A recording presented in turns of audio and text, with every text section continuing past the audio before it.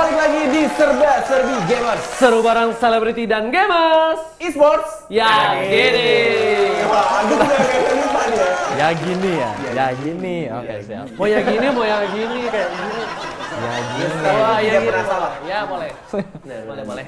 Nah, ini kita balik lagi ngobrol sama Agung dan sekarang kita ngobrolnya tadi kan udah tentang esports juga, Ya. terus tentang motivasi-motivasi yang secara tidak langsung Agung tuh memberikan ke kita semua. Ya sebenarnya. Secara tidak langsung omongan Agung tuh bikin kita kayak pak pak pak gitu loh, kayak tersadar. Bangun, bangun, Bangun Oji, bangun Kerja, bangun, kamu kurang sekolah. keras. Iya. bangun sekolah kayak gitu. Iya benar Aku benar. merasa bersalah. Eh jangan jangan. enggak. Kita justru berterima kasih banget. Ya. Kamu sudah hadir di sini memberikan kita motivasi. Dan kalau misalnya kamu lebih lama lagi, misalnya dua hari tiga hari di sini, besok kita pasti bakal pinter semua. Iya. Besok dua kali dua pasti empat. Ya, 4 kali 4 16. Yes. Oh, oke. 5 kali 7? Lima kali tujuh tiga lima. Iya. Tadi lupa sebenarnya. Tapi setidaknya Net, Apa? kita juga memberikan feedback untuk Agung. Apa tuh? Agung memberikan kita semangat dan eh, motivasi, kita berikan hiburan untuk dia. Iya. Masalahnya terhibur nggak sama kita? Terhibur. Oh, terhibur.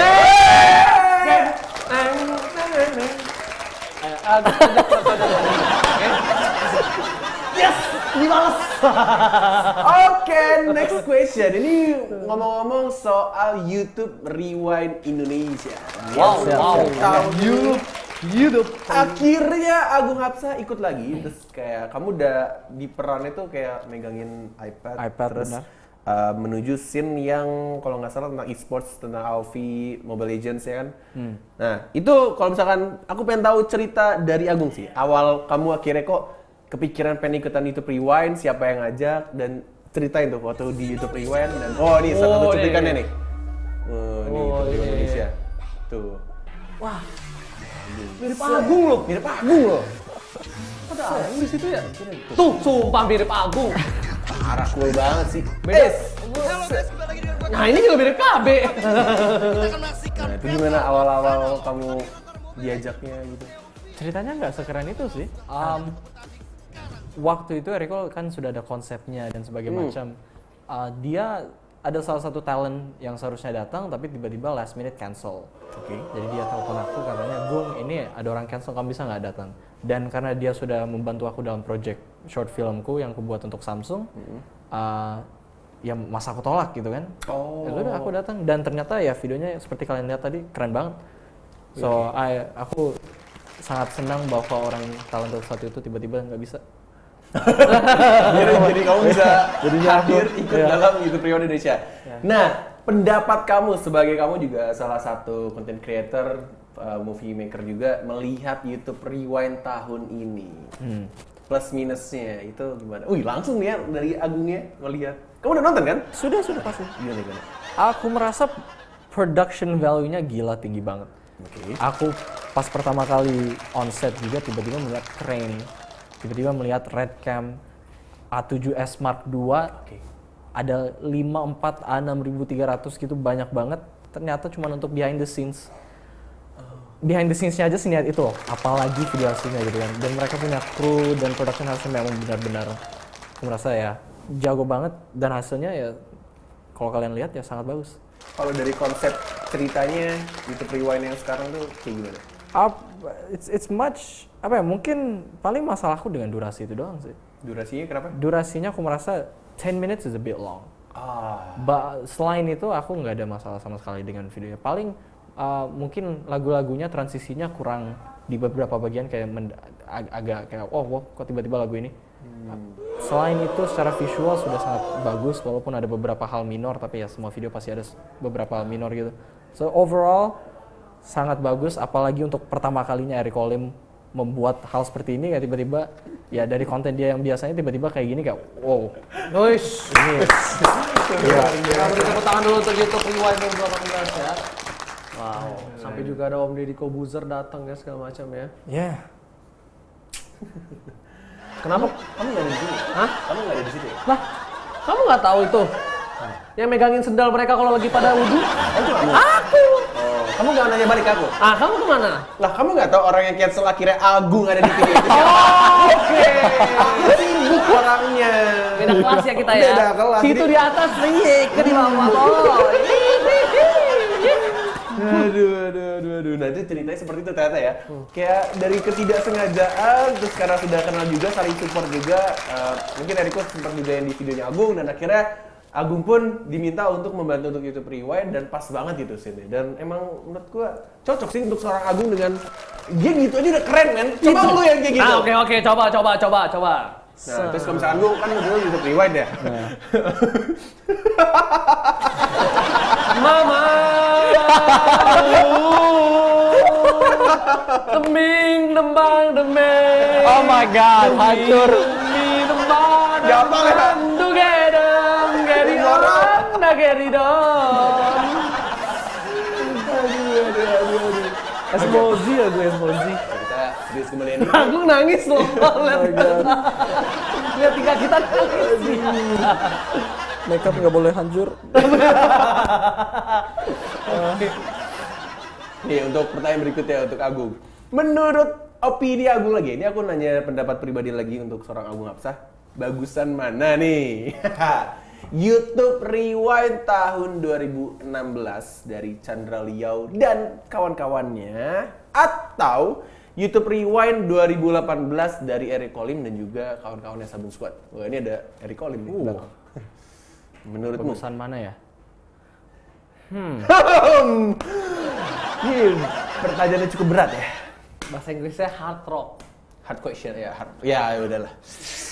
Sebenarnya susahnya karena aku se- sebenarnya sudah agak lupa videonya Chandra Leo gimana. Karena sudah cukup lama ya itu. Oke, mungkin eh, Bapak produser bisa disiapkan sembari menunggu Agung menjawab ya kan? Nah. Karena Bapak produser kita tuh siap dengan segala macam video. gitu. Abis ini lo di eval net. santai. Eh net, tadi net, produser sambil nunggu video. Sambil nunggu video. Ada satu pertanyaan nih. Apa nih? Agung menyesal gak sih ketemu kita berdua sekarang di sini? Jujur aku agak envious dengan energi kalian. Oh, kenapa? Kenapa? Aku nggak bisa se-hype ini. Oh, Kayak sama sih. pas aku SD aku se-hype itu. Tapi pindah ke Indonesia depresi sekarang aku seperti ini. Eh, bentar-bentar. Pindah ke Indonesia, depresi dalam Iya. hal apa? Um, maksudnya kan aku dari Melbourne. Yaps. Tiba-tiba pindah ke Indonesia. Tapi Indonesia bukan Jakarta, tapi Kaltim dan Kalimantan Timur bukan di kotanya Balikpapan, tapi 5 jam naik ferry, naik mobil beberapa jam lagi kamu temu sebuah kota kecil namanya ya apakah gitu namanya dan Sangatta. aku tinggalnya di situ. Tempat yang sangat remote gitu. Ya. Ya tiba-tiba dari Melbourne ke sini, ya gimana nggak depresi? Tapi kan ada kemiripan ya. Di Melbourne banyak pohon-pohon park tamannya kan. Di sana juga Kalimantan Timur banyak pohon-pohon gede kan. Iya. Hutan malah. Ya, but that's not what I want gitu. Beda banget. Apa, apa atmosfernya beda sih. Kayak aku Beda pun juga Aku gak nanya kamu, Tarlo, dia, bukan yang dia mau. Nah, ngerti kan? Adik gue pakai alpaling. nah, tapi emang kamu mau seperti apa suasananya? Kalau boleh tahu, kalau nggak boleh, is okay, no problem. Ah, maunya ya seperti Jakarta ini makanya aku pindah ke Jakarta. Tempat yang di mana aku bisa berkarya dan semua yang kubutuhkan ada gitu. Di tempatku dulu yang di Kaltim itu bahkan McDonald nggak ada, KFC nggak ada. Kamu kita ada versi kita sendiri namanya Tweety. Oke, wait, nih ya.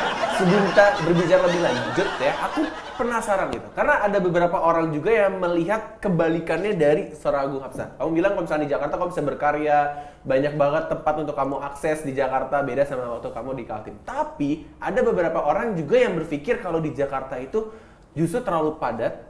Orang-orang eh, bener-bener kayak macet di mana-mana, terus cuacanya panas banget, dan dia lebih pilih ke tempat seperti kamu yang kayak suasananya santai, tenang, ada angin semriwing, ngir, apa ngirup oksigen tuh kayak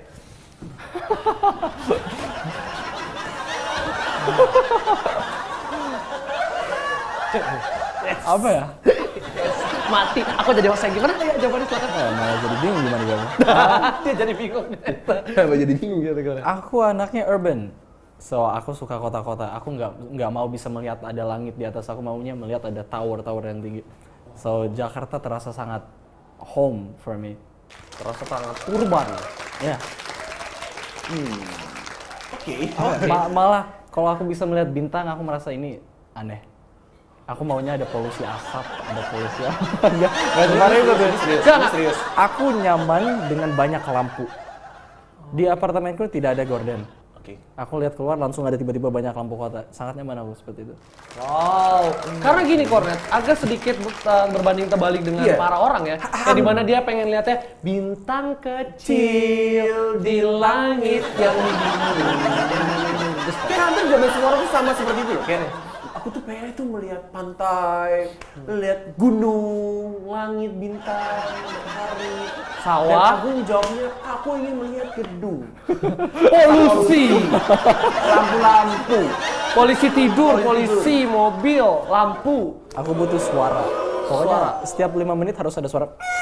Kalau enggak nggak terasa aneh. Kalau terlalu diam kayak aneh. Nggak tahu kenapa. J- jadi kamu kalau kalau orang tidur tuh inginnya hening gitu ya. Nggak, kalau aku- suara burung, burung hantu. Mungkin pengen suara klakson. Tahu suara orang ngegas. Gue tahu, aku tahu, aku tahu, aku tahu. Agung cocok tinggal di mana? Priuk. semakin semakin malam, semakin banyak Transformers di sana. Oh gitu ya. Optimus Prime, Hah? Truk-truk besar. Otor-otor besar. Iya, terus klaksonnya juga bukan klakson mobil, klakson kapal. Oh, cocok gak? Tapi I don't know, city makes me relax. Kayak waktu itu uh, tiba-tiba kebangun kan ada helikopter lewat. Nggak tahu, and suka banget oh wow, this is ini alarm yang sangat alami bagiku. Tapi no, kalau kalau di di di Kaltim ya, aku bangun kukuruyuk, aku mau bunuh ayamnya semua itu malas banget. No, eh, itu ayam tak ber- berhak untuk menggangguku tidur. Sumpah. Tapi helikopter itu silakan, ini bisnis. Agung, Agung. Ayam itu personal, helikopternya bisnis. Eh, taruh. Ayam berkokok setiap pagi hari. Kukuruyuk. Oke, ayam sudah berkokok, kita mandi. Helikopter. Nah, taruh. Ini ada yang harus diamankan berarti dari Agung Hapsa. Awas burungnya. Burungnya awas. Burungnya awas. Burungnya awas.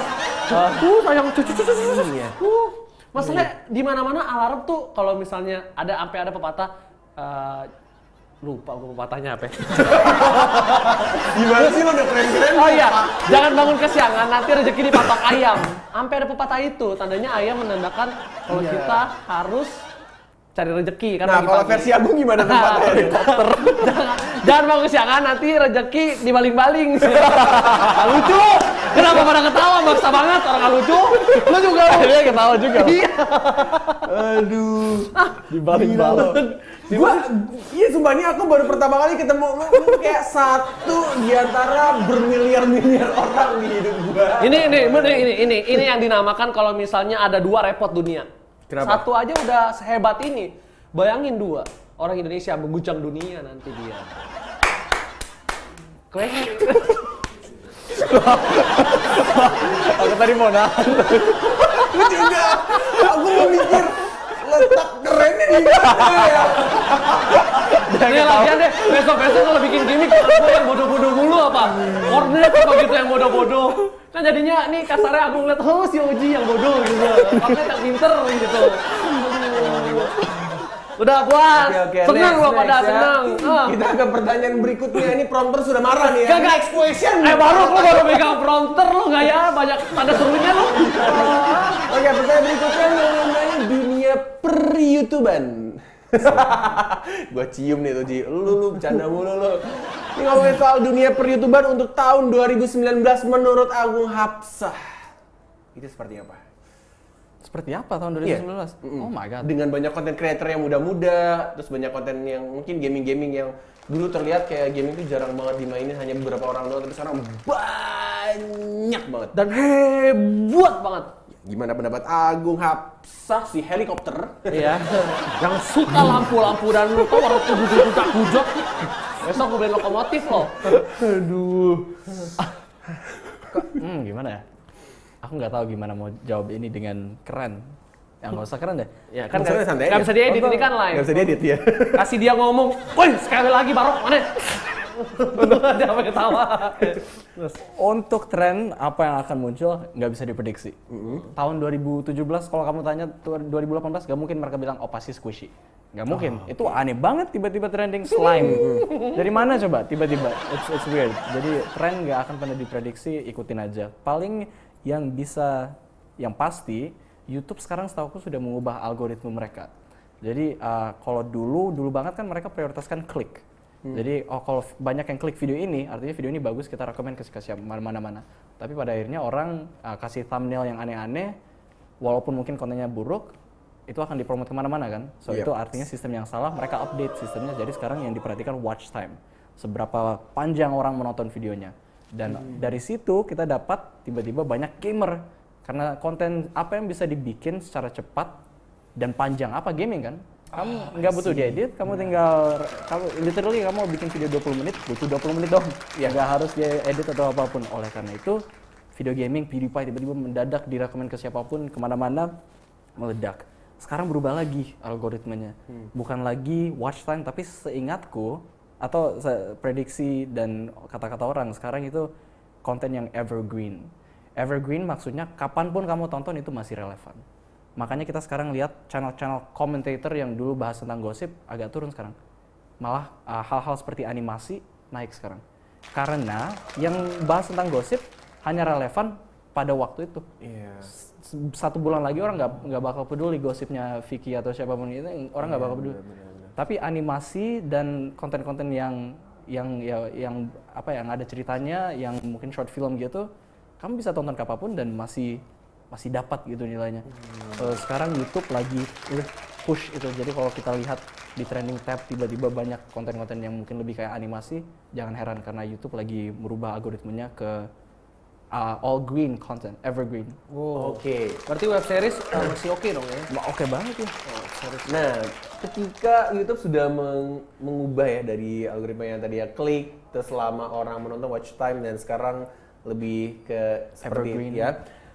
Kamu kepikiran nggak pengen mengubah sedikit kontenmu jadi kayak biar orang tuh akhirnya eh, tahu akan adanya dirimu yang mungkin dulu lebih ke vlog atau apa tapi sekarang lebih ke yang evergreen itu. Um, Pikiran nggak?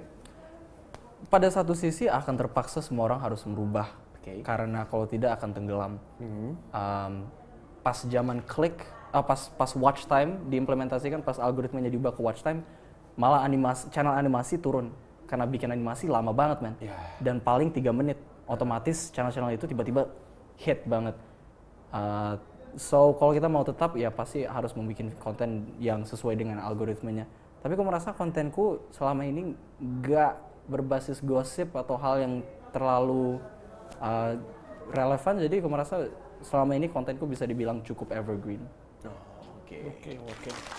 Mantap sekali. Boleh nanya nggak nih? Di Boleh banget. nih, di luar. Eh, konten dari Agung Hapsah yang paling lo suka buat, maksudnya kayak kayak misalnya gue nih paling suka misalnya buat konten main game misalnya. Hmm. Kalau misalnya Agung Hapsah tuh paling suka apa sih? apa ya Yang bener-bener kayak yes ini yang gue tunggu waktunya. Iya, even lu lagi capek, even lu kayak udah bener-bener sibuk banget, tapi karena lu suka ngelakuinnya, tetap lu jalanin. Dan malah itu yang lo tunggu. Iya. Ah, ada- ah apa ya? Pa- apa pun yang challenge aku dalam dalam segi editing biasanya sangat menarik. Oke. kayak uh, ada short film baruku namanya Agen Resep Rahasia itu uh, sangat challenging karena aku harus edit segala hal VFX 3D yang aku sebenarnya nggak pernah lakukan jujur Uh, aku agak tawarin ke klien berlebihan sih. Video ini akan punya helikopter akan ada mobil bla bla bla. Padahal jujur aku nggak bisa. So itu kayak menempatkan standar yang tinggi biar aku terpaksa harus belajar hal tersebut. Selama sebulan tutorial doang dan ya, pagi tutorial malam tutorial nonton aja terus langsung coba biar bisa memenuhi standar itu. Dan itu mungkin ter- terdengar sangat menyampaikan ya tapi seru banget jujur seru banget. Kayak wah ini ada challenge. Kayak ada hal yang membuatku bangun pagi banget gitu Hmm, jadi net si Agung Hapsah ini sukanya ditantang. Ditantang maksudnya eh, secara eh, mungkin dia harus kualitasnya ditambahkan, quality controlnya ditambahkan. Ini bridging mau ke challenge nih pasti. Oh, kirain mau challenge Agung Hapsa. Giliran lagi bener di cut. Iya, iya. Salah di cut. Ya, maaf. Besok Lanjutkan, lanjutkan, lanjutkan. Enggak, yang penting gaji jangan di cut. Betul ada tanda seru satu tuh Apa tadi lu mau ngomong apa? aku tunggu juga. Nungguin. Gua nungguin, gak apa-apa Nggak, lanjutin oh, lanjut, aja. oke. Iya, jadi kayak dia suka yang tertantang, apalagi yang menambah nilai hidupnya seorang Agung Hapsah berarti ya, bener gak? Mudah-mudahan. Iya, alhamdulillah jawabannya masih aman. Oke. Kita menuju ke pertanyaan terakhir Iye, prompter Iye. ya. Ini untuk seorang Agung Hapsa, seorang content creator dan juga mungkin teman-teman di rumah ada juga yang ingin menjadi seperti Agung Hapsa. Ingin menjadi content creator yang baik, editingnya baik, actingnya pun juga baik, bahasa Inggrisnya baik, semuanya baik lah pokoknya. Ada nggak tips dari kamu untuk hal itu kayak mungkin caranya adalah untuk kamu nih eh, yang ingin jadi content creator pertama yang kamu harus lakukan adalah sikat gigi atau mungkin harus tidurnya kebalik gitu. Bener banget. Atau enggak kamu dengerin suara knalpot yang Iya. kenceng breng breng breng. Dengar suara helikopter apa klakson enggak- benar atau enggak depan muka kamu lampu sorot. Nah, lampu Iya. sorot konser ya. Buta gitu. kasih Agung ngomong. Iya. Ah, ngomong aja terus aku lagi pikirin gimana. Dia butuh kita. Ini gesternya minta kita untuk ngomong. Kamu tidak pernah? Belum. Belum, belum. Belum, belum, Maaf, belum. maaf, maaf. Gimana? Ada tipsnya nggak? Bu? Ah, tipsku paling Oh, aku pakai ah, jawaban Pak Iman Usman, pembuat Ruang Guru. Oke, Pak Iman Usman. Gak usah banyak alasan. Oke. Ya, zaman sekarang everything you want is at your fingertip. Apa ya? Mungkin aku kasih contoh ya. Ki- Kita semua pasti tahu film Star Wars kan? Yap. Star Wars was a revolutionary film. Kenapa? Karena mereka membuat visual yang sebelumnya never done before. Mereka membuat teknologi baru, green screen, all that, dan itu butuh tim. Literally butuh tim untuk menggambarkan dan membuat semua hal itu, membuat model asli. You needed a team to make that film. Sekarang dengan short filmku Agen Rahasia, I made all those models. Itu thing sudah ada di internet dan aku untuk belajar hal itu bisa sebulan aja dengan nonton tutorial. Everything you want is at your fingertip. Kamu butuh apa? Dulu kalau orang tua kita mau belajar, mereka harus ke apa? Ke they have to go to the library sekolah, cari buku yang sudah tua banget dibuka pff, gitu untuk belajar satu hal. Kita apa? Google. Everything is right there. Apa alasannya kita nggak bisa lebih baik daripada generasi sebelumnya? Wow. Oke. Itu bener sih, kayak sekarang tuh dipermudah ya. Udah nggak ada alasan lagi untuk kalian yang ingin belajar, yang ingin mendapatkan sesuatu, belajar sesuatu, itu semuanya sudah dapat dengan mudah kayak fasilitasnya tuh banyak banget kayak ya bener banget kata Agung ya.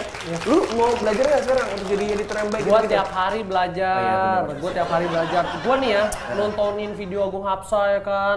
Set. Jadi oh nonton, wow moodnya naik nih tinggi, pengen edit. Set. Pas buka Premiere, bus. Ya gua?